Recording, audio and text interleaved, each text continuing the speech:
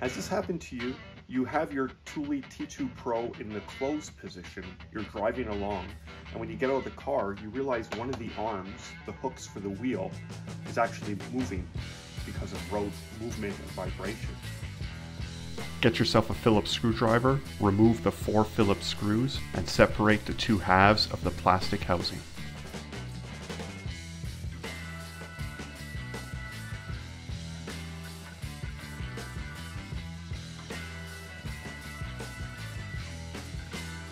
Next, with a ratchet and a wrench, let's tighten it up and put a little more clamping force.